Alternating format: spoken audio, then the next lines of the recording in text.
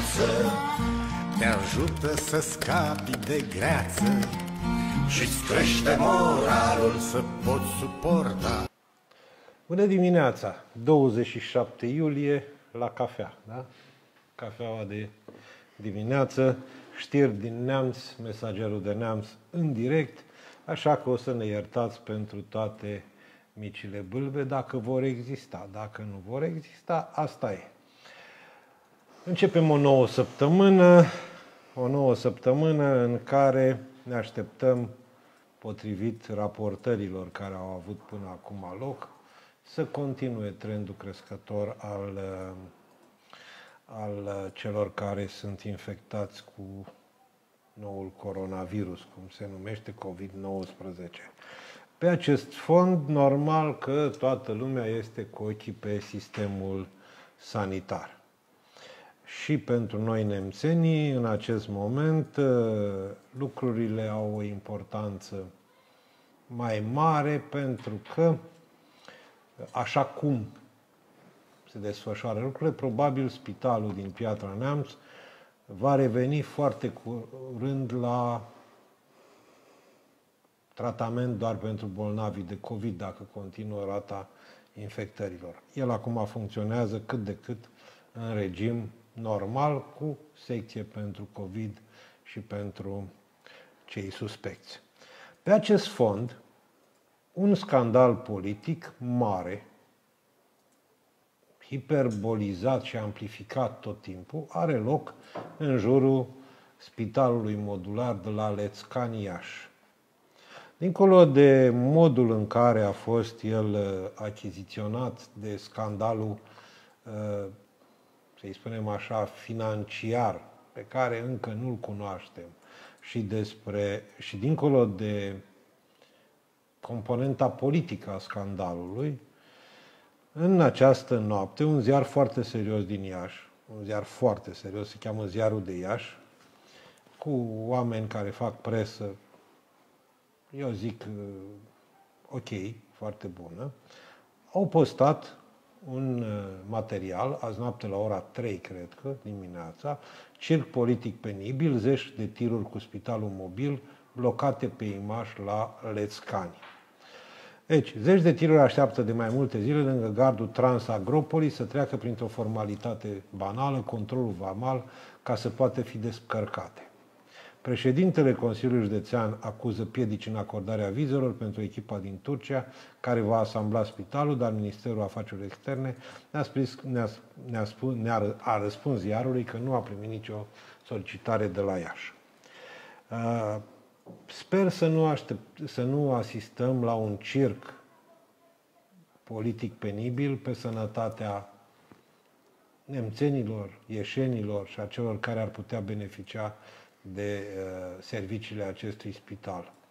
Din câte mi se spune, ar mai fi doar două module de, de sosit, cel de recuperare post-ateiști, cel de radiologie și ar putea începe uh, instalarea acestui spital.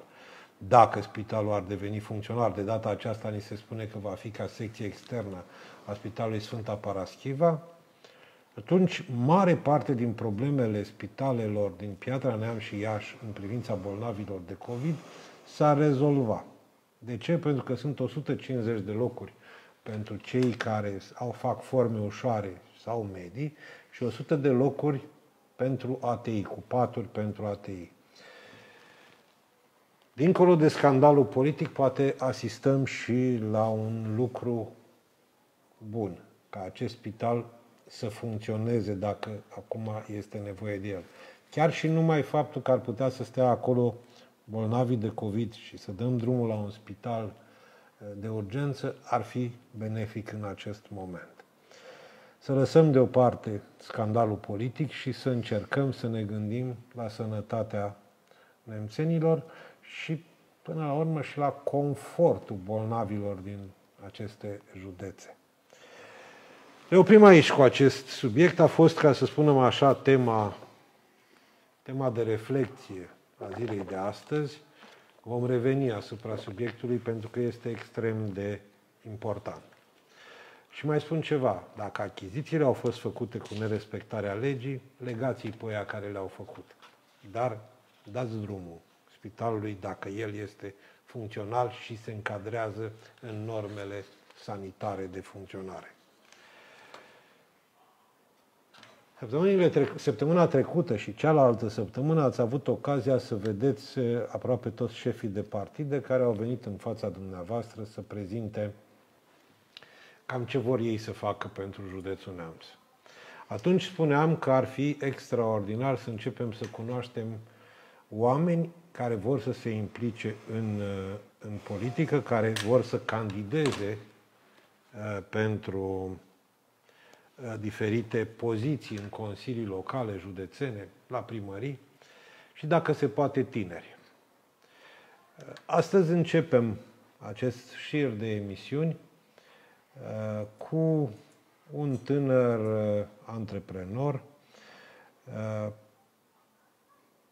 chiar foarte tânăr, așa, după, după părerea mea, pentru politică, dar e bine că Uh, face acest lucru, vine din partea Partidului Mișcarea Populară, are 37 de ani și îl cheamă Valentin Șerban. Bună dimineața! Bună dimineața, domnul Bălănescu, bună dimineața telespectatorilor dumneavoastră.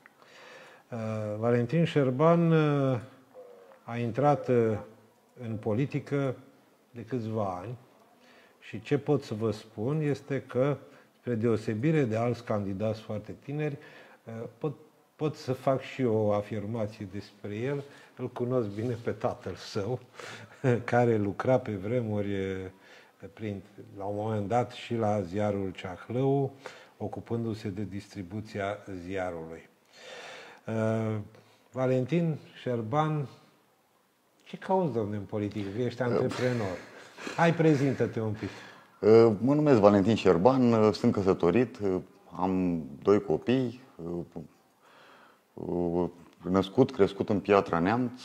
Am intrat în politică în 2015. De ce am ales, am intrat în politică în Partidul Mișcare Populară? Deoarece am găsit o echipă tânără, o echipă uh, deschisă la dezbateri pe proiectele uh, prezentate pentru Consiliul Local, cu multe idei noi, cu o viziune și aproape de cetățeni. Bun. Valentin, eu știu că este prima ta emisiune televizată da, și de aceea vreau să, să te întreb. Bun, ești un antreprenor, cu ce te ocupi? Sunt manager la o firmă cu aproximativ 26 de angajați. Oho. Oho. Fac, mă ocup de antreprenoriat din 2007. E cu bune curele. Te ocupi? Nu este secret, managerez o firmă de construcții, lucrez în toată zona Moldovei, lucrez și în Iași, și în Piatra, și în Bacău. Lucrez mai mult uh, pentru companii multinaționale. A, deci lucrez pentru alte companii, pentru alte companii, da, prestez niște servicii. Uh, Partea de mentenanță, de construcții, de climatizare, Uh, ventilație. Deci, uh, practic, uh, o firmă mică, dar elastică, ca să zic așa. Vă da, suntem o firmă mică, în curs de dezvoltare. Ne încercăm să ajungem la un anumit nivel, să facem alt fel de antreprenoriat în Piatra Neamț, pentru că metehnele vechi nu se schimbă niciodată până nu... Care sunt metehnele astea? Hai să intrăm un pic în amănunte. Metechnele vechi. Vezi, de asta cred că intră antreprenorii în politică. Pe de o parte, unii o să zică alt constructor. Dar hai să vedem care sunt metehnele vechi.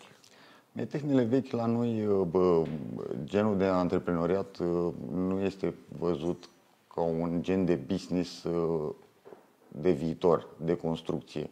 Marea majoritate a antreprenorilor sunt oameni de combinații fac 2, 3, 5, 7 lucrări, dar nu dezvoltă în spate și oamenii și uh, compania și... Uh, adică, hai să spunem așa, se dau bufuri.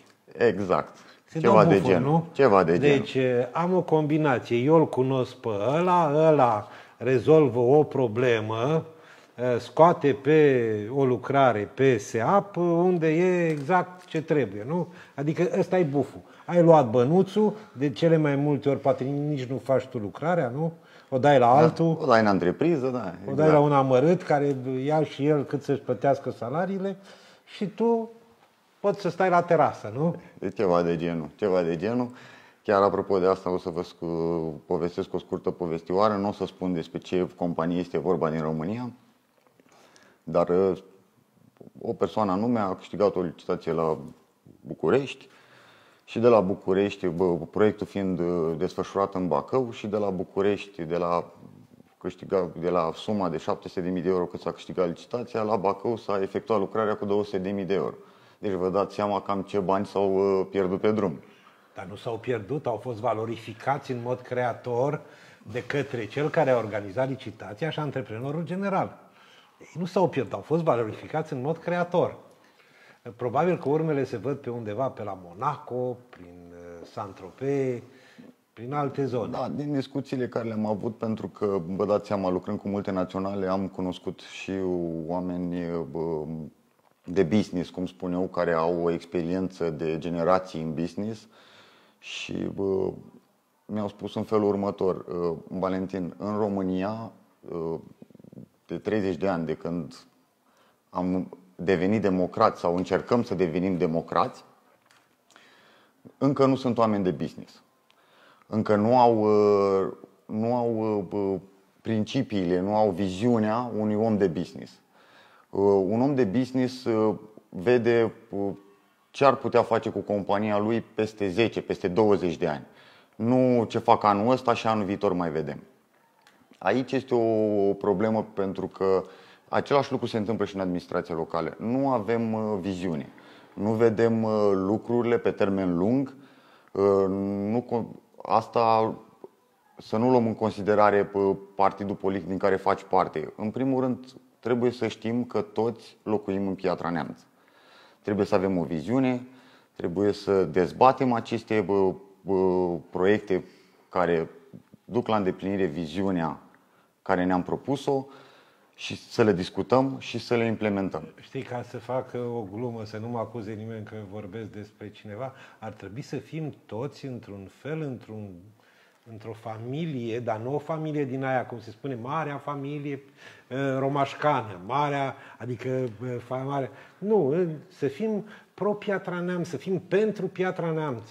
Să fim Asta. pentru Piatra Neamț cu toții care locuim aici. Și nu numai, cred că și cei din jur, pentru că Piatra Neamț trebuie să reprezinte un, punct, un pol de dezvoltare și pentru zona din jur. Eu am o vorbă, într-adevăr este o vorbă românească. Ceea ce emane aia primești.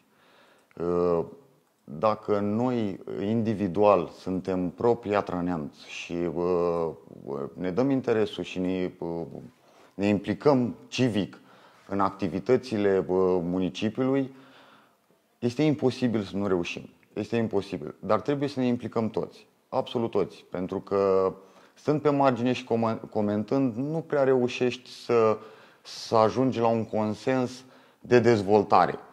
Uh, comentariul este bun, uh, este critic sau poate fi pro sau uh, contra, dar până nu te implici și pui mâna efectiv, nu reușești să, să pui în aplicare anumite lucruri.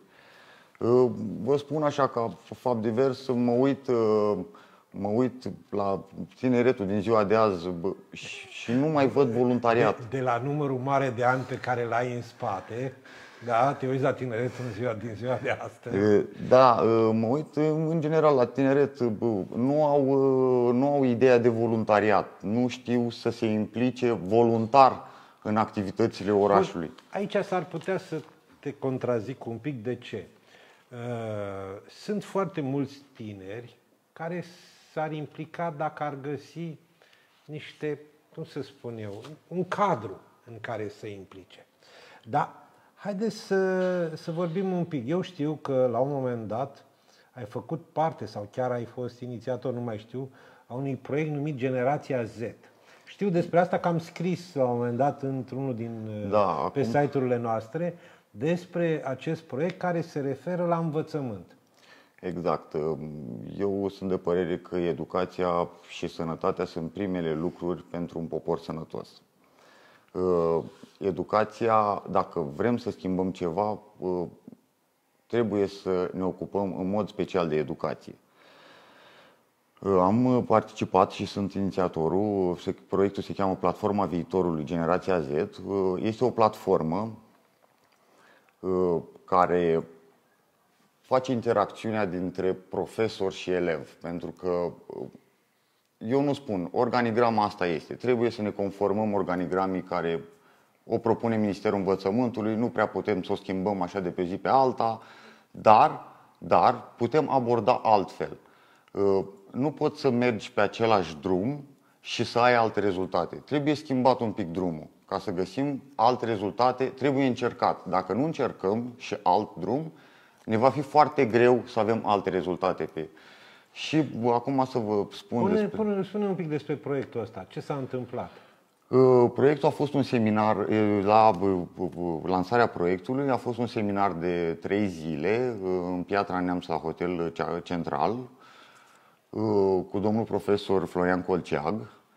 Adică o personalitate, haideți ca să vorbim foarte, foarte concret, o personalitate care atunci când spune ceva despre învățământ contează.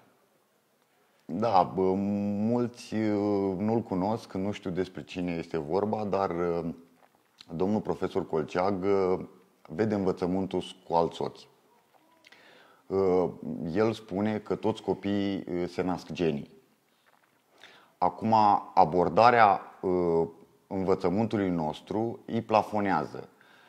Una este să dictezi o oră și să trimiți copilul acasă să învețe singur, și alta este să dezbați o oră, uh, dezvoltând munca în echipă și după aia el mergând acasă să caute alte informații după dezbatere. Aici este problema noastră. Uh, educația se face, se face individualist, nu se face uh, în echipă. Nu se, nu se desfășoară ca o dezbatere. Și a fost, ca să vă mai spun de acest proiect, a fost de pe parcursul a trei zile cu profesori, cu domnul, domnul profesor Florian Colceag a explicat o altă abordare a, a organigramei. să fie o altă abordare. Dar, uite, ce vreau eu să te provoc acum? Haideți să vedem cum am putea aduce acest proiect sau să-l transpunem în politică. Pentru că, pentru că vorbim despre ce? Cam același lucru. Toți spunem, deci fără învățământ și sănătate nu putem da... Da, dar uităm cu toții că învățământul și sănătatea sunt la mâna și la decizia unor politicieni care, dintre care mulți au făcut studiile la 33 de ani, 34, 35 și au luat bacalaureat, sau își dau bacalaureatul la 42 de ani și nu-l iau. Și atunci n-ar fi cazul să facem cam același lucru și în legătură cu politica? Ba da, vă dați seama că asta ar fi ideal, dar uh, trebuie în primul rând să atragem tinerii cu capacitate, să-i atragem să rămână în România. Pentru că marea majoritate a lor pleacă și nu se mai întorc. Pentru că aici politicul uh, nu-i atrage în interesul cetățeanului. Că aici este problema. Chiar dacă nu ai studii, uh, nu ai făcut uh, nu știu ce universitate sau nu știu ce doctorate, masterate sau altele. Pe bune sau pe bani? Pe bune sau pe bani. Dacă ești un om vizionar, atragi lângă tine oameni care știu ce au de făcut. Și atunci, formând această echipă, asta este vorba de munca în echipă, formând această echipă, îi atragi și pe ei să rămână acasă, dar totul trebuie să fie realist și fără uh, tot felul de combinații care se fac în, uh, în sistemul public. Am înțeles. No, uh, încep să primesc uh, mesaje pe chat care se referă strict la îndemnuri de campanie. Vă rog frumos, abțineți-vă. Nu-mi place să blochez, nu-mi place. Deci, noi facem o emisiune, este un invitat. În momentul în care este invitat, doriți să-i adresați întrebări cu mare drag, dar uh, abțineți-vă de la sloganuri, cea mai bună echipă este cu tare, pentru că e o chestie de rușinică. Da? Mulțumesc frumos! Uh, mergem mai departe uh, și discutăm cu Valentin Șerban. Valentine, ai intrat în politică din 2015, dacă nu mă înșel, cu un da. an înainte de alegerile locale. Uh, acum ai făcut pasul spre echipa care merge spre Consiliul Local. Cum vezi tu așa un Consiliu Local ideal pentru mine, cetățean care mă uit din când în când la ședințele de Consiliu? Mai, mai rar decât ar trebui, pentru că au început să plictisească cumplit. E ca un fel de somnifer, uh, uh, fără, fără niciun fel de efecte negative. Te uiți 5 minute și ai adormit. Da. Mai ales dacă mai vorbește și câte unul cam așa. De astăzi noi promovăm șapte proiecte de dezvoltare. Wow, ce proiecte promovăm! Uh, wow, este senzațional! Vom săpa șase, șase șanțuri pentru șase sași. Da. Da. Um, da, într-adevăr, uh, ședințele de Consiliu Local, uh, ar, din punctul meu de vedere, ar trebui să se desfășoare sub o altă formă. Chiar dacă proiectele propuse pe ordinea de zi uh, sunt discutate în comisii, sunt analizate, sunt întoarse pe toate părțile, în ședința de Consiliu Local ar trebui o dezbatere pe aceste proiecte să, să poată vedea și cetățeanul ce se întâmplă cu acel proiect. Bine, care ai, venit, fost... bine ai venit în echipa Mesagero și în echipa presei în general, care, sau la unei părți a presei. Care sunt, uh, care sunt discuțiile pe acel proiect, care sunt plusurile, care sunt minusurile, uh, cum se pune problema, ce costuri are acel proiect, ce viziune, ce termen de finalizare are acel proiect. Pentru că discutând doar Cât proiectul... costă? Cât costă Cât acel costă? proiect? Ce ar trebui să facă cel care face acolo? Măi, oameni buni, să știți că dacă facem ceva acolo, uite, crește valoarea zonei, crește, crește prețul terenurilor, al caselor. Nu vom face o șmecherie să ne oprim cu un șans la jumătatea străzii sau cu strada la jumătatea câmp, uh, uh, distanței nu, vom face un lucru care ține așa și care vă ajută pe voi pentru asta, pentru asta și pentru asta. Sunt de acord cu tine. Și cam cum crezi tu, cam când crezi tu, în ce cincinal vom avea un asemenea consiliu? Eu zic că cât de curând. Dacă într-adevăr vrem o schimbare, o putem face. O putem face pentru că, într-adevăr, nu am, nu am, am accesat o candidatură în Consiliul Local în 2016 fix din, acela, din acest motiv, pentru că nu am știut despre ce este vorba. Trebuia, a trebuit prima oară să stau patru ani uh, pe tușă, să zic așa, pe banca de rezervă, să văd cum se desfășoară ședințele de Consiliul Local, care sunt cerințele, care sunt atribuțiile unui consilier local, să văd ce pot schimba și în ce fel pot schimba lucrurile. Și dacă te poți obișnui să respecti întotdeauna disciplina de partid. Acum asta cu disciplina de partid, uh, într-adevăr, în politică se mai fac și compromisuri, dar uh, dacă îți expui punctul de vedere cu argumente și cu argumente coerente și concrete, eu zic că ești ascultat.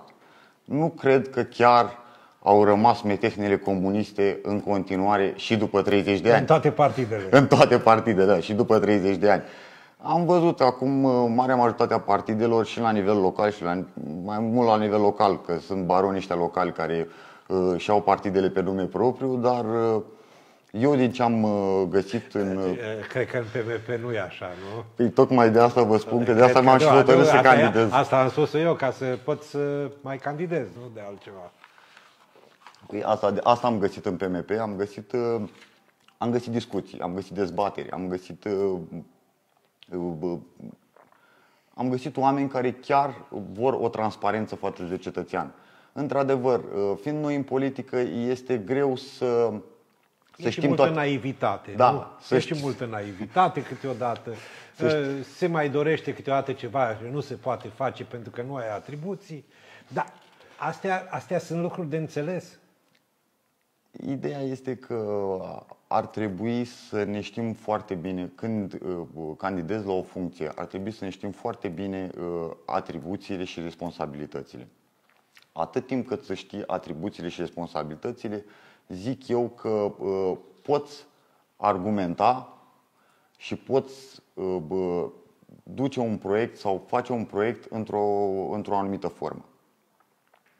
Dar spune-mi un pic despre echipa voastră cu care vă prezentați. Cam cum e, că n-am apucat să vorbesc încă niciodată, cam ce fel de oameni sunt, care e media de vârstă, din ce medii provin. Media de vârstă este bă, undeva în jur de 40-43 de ani, nu știu exact să vă spun uh, exact media de vârstă. Medii, uh, marea majoritate a lor medii uh, provin de mediul privat. Uh, Sunt oameni cu spirit civic care își doresc să se implice în comunitatea din care fac parte. Uh, Fiind la început, au mai și greșit, dar uh, eu spun că doar cel care nu muncește nu greșește. Uh, Avem uh, ceva proiecte care le promovăm și uh, vrem să le aducem la un stadiu implementabil, să spun așa, cum ar fi bă, proiectul cu apa caldă în școli. Apropo, vorbim de educație, că este o lege la nivel național unde în nicio școală nu este apă caldă și mai ales Deci, cu deci, uite, ve- vreau să spun ceva. Uh, Toată lumea vorbește, n-avem, avem WC-uri în curte încă. Dom'le, dar un lucru elementar, apă caldă să te speli pe mâini în școli, mai ales în perioada care probabil că va urma, vor fi cursuri, pandemie. E, apă caldă, adică despre ce vorbim? M-am inventat noi apa caldă? Sub nicio Uite, formă. asta este, asta este un lucru foarte, foarte bun, un lucru concret. Deci, Da, bă- dacă vine cineva și îmi spune, domnule, pun apă caldă în toate școlile, garantez că dacă nu, mă duc eu și stau iarna cu picioarele în Bistrița, când curge Bistrița, cu toată echipa mea de consilier, dacă nu reușesc, eu sunt dispus să-i văd cum îngheață la picioare dacă nu fac. Ideea este că bă, legislația m, nu prea ne permite o flexibilitate, dar uh, vom încerca în așa fel încât să ajungem la o finalitate a proiectelor. La o, m, mai avem proiectul ăsta cu bă, deschiderea bă, terenurilor de sport aferente școlilor pentru elevi. Eu vă spun, băiatul meu are 11 ani. De multe ori uh, îl întreb, tata, da, închisă școala, cum ai uh, am uh, intrat printr-o gaură din, ga- din gardă. Adică, nu știu, nu mi se pare normal în anul 2020 s- ca un copil de 11 ani să abordeze o situație sub forma asta. Într-adevăr, uh, mulți directori nu-și asumă această responsabilitate, pentru că dacă se întâmplă ceva acolo, cineva trebuie să-și asume responsabilitate. Dar prin bă, dezbateri, prin discuții, trebuie găsită o soluție. Că este imposibil să nu găsim o soluție în lege să putem aplica acest proiect. Acum, uh, Da, auzi, eu am o păsărică așa. Este normal ca în școlile din Piatra Neamț, Piatra Neamț, că tu candidezi la Piatra Neamț, părinții să strângă bani ca să cumpere hârtie igienică?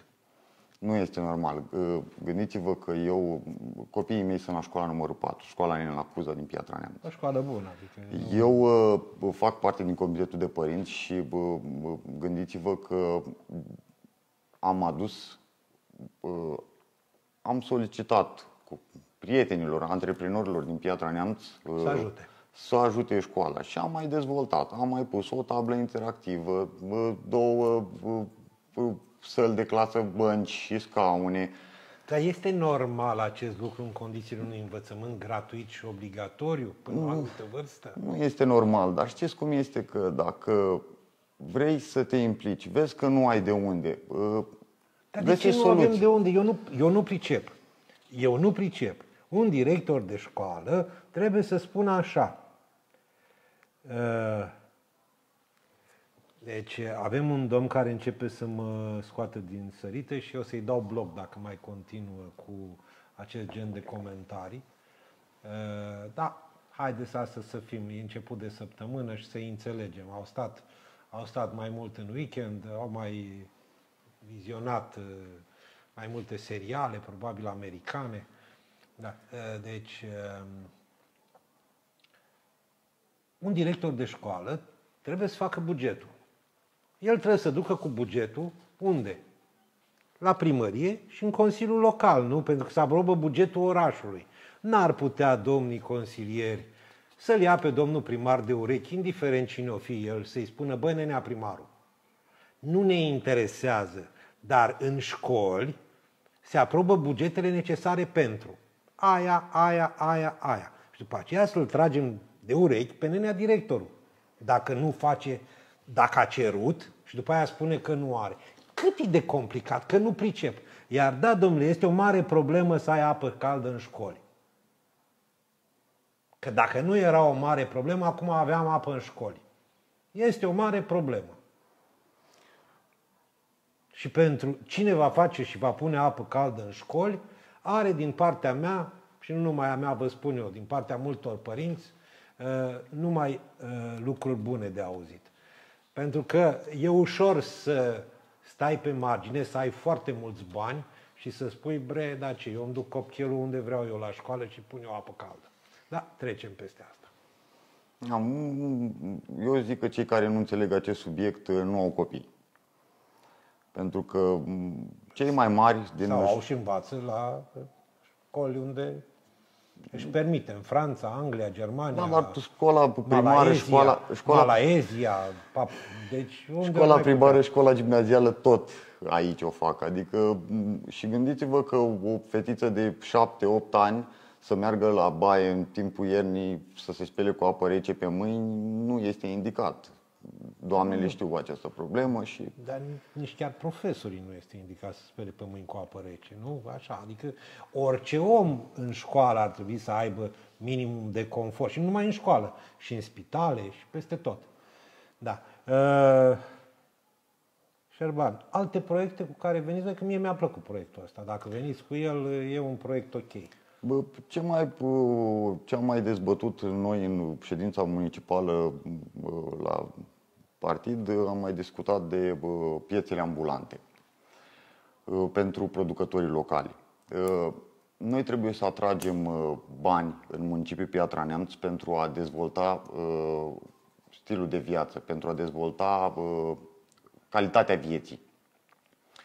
Pentru că, precum vedeți, eu am rămas uimit la mărimea Piatra Neamțului și la numărul de locuitori, cam câte supermarketuri din multinaționale avem. Uh, într-adevăr, ei... Cu votul Consiliului Local. local. Corect. Ca să fie lucrurile foarte clare. Că nu se putea fără Consiliul Local și fără executivul primăriei. De multe ori invers. Cu a, se discută prima dată la nivel de executiv și până se vine cu proiectul în Consiliul Local. Și spune, uite, știți, creăm 17.000 de locuri de muncă. Asta cu creatul locurilor de muncă în supermarketuri, cei care fac antreprenoriat sau știu partea economică înțeleg lucrul ăsta. Ei uh, încasează o anumită sumă de bani, din care 30, 40, 50% îi lasă municipiul Piatra Neamț și restul plec.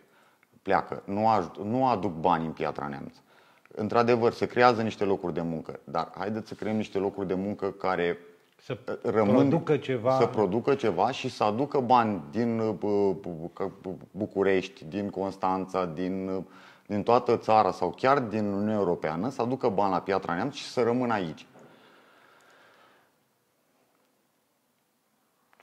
Da, în sfârșit uh, un comentariu bun de la același domn. Da, primăria este vinovată pentru că nu susțin și nu fac ce trebuie în școli. Deci, primăria, dar să știți, domnule, că și uh, noi, cei care plătim taxe și impozite, suntem vinovați cu toții. Pentru că suntem părtași la o minciună în aceea dusă de sus până jos. Învățământ gratuit, dar dăm cu toții bani pentru uh, tot ce înseamnă uh, necesități în școli, uh, fiind supuși unui șantaj subtil, care vine de sus, de la minister până jos. Adică, da, domnule, este gratuit, dar știți, poate fi ajutată școala românească de către asociații, fundații, poate de asociațiile de părinți. Dar de ce să fie ajutată de asociațiile de părinți? De ce asociațiile de părinți, de exemplu, să nu strângă bani pentru excursiile copiilor, ca să învețe altceva nou? De ce să nu strângă bani pentru competiții făcute în școală? Nu să pună perdele, să cumpere hârtie igienică, să pun sau să pună parchet. Și eu asta aștept de la consilierii eh, care vor veni și nu cred că numai eu aștept asta. Aștept să se implice pentru rezolvarea și a acestor probleme, pe lângă proiectele mari de dezvoltare care să genereze ceva pentru, pentru oraș. Pentru oraș. Deci, asta cu piețele e interesantă, dar să nu ajungem ca la piața mare, știi? Adică să facem piețe pentru combinatori. Dacă ieși acum și arunci un ochi pe geam, la noi aici, o să vezi un băiat care are vreo 50 de kg cu totul, care are două tarabe luate, că e producător, și el vinde cătină, afine, ciuperci, uh, zarzavaturi, uh, printre care și fasole verde. Nu știu cum o culege, că el e atât de mitel că n-ajunge să o culeagă. Nu știu dacă Dar n-are timp să culeagă nimic pentru că el stă și noapte aici și îi vânează pe aia care vin cu marfă să o cumpere. Mai este unul pe care l-am numit noi împăratul pieței. Deci, combinatorii. Nu cred că va fi așa. Dacă ați observat ceva timp în urmă, au fost în uh, parcul din Piatra Neamț, au fost ceva producători veniți din Bucovina, din Brașov, din uh, din zonele muntoase și mai ales... Uh, da, de aia vin trei zile, pe, pe, odată la... A, asta este ideea, adică făcută lunar, o piață ambulantă de genul ăsta, în care să, să provoci oamenii să mănânce și sănătos și să dezvoltăm economia locală. Și să nu vină ea numai pe pile, tot alți combinatori din alte județe. Uh, eu revin, uh, hai să încurajăm cu adevărat producătorii. Avem un producător de pe la Căciulești. Mie îmi place că mă uit, mai mă uit așa ce face. De, hai să încurajăm pe ăștia, să le creăm locuri unde să vândă și să vândă, să, să se poată dezvolta. Să nu mai încurajăm combinatorii, șmecherii.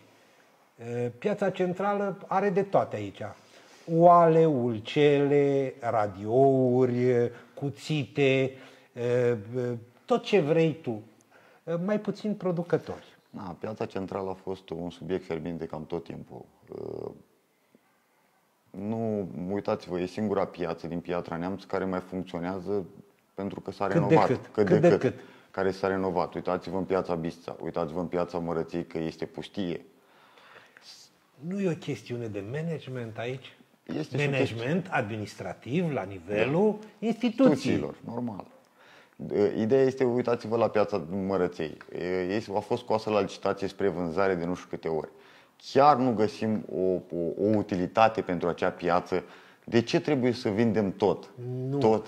nu s-a vândut încă pentru că nu s-a ajuns la un acord foarte clar cu privire la preț și beneficii ulterioare. Pentru cetățeni, evident. Că, în definitiv, și cei care negociază sunt cetățenii ai municipiului Piatra Neamț. Dar de ce trebuie să o vindem? Eu aici nu înțeleg. De ce trebuie vândută? De ce să nu se gătească o utilitate gen... Păi ea mai stă vreo 2-3 ani ca să poată să distrugă de tot acoperișul ăla, ca să poți să o dai pe nimic. Că o să vină unul și să zică, domne, eu o iau, dar știți cum e, uitați, în ce condiții e, o iau, mă sacrific eu pentru oraș și o iau. Uh, eventual m-a promis să mă aprovizionez numai de la un domn care mi este recomandat. Aici. Deci cam da. așa stau.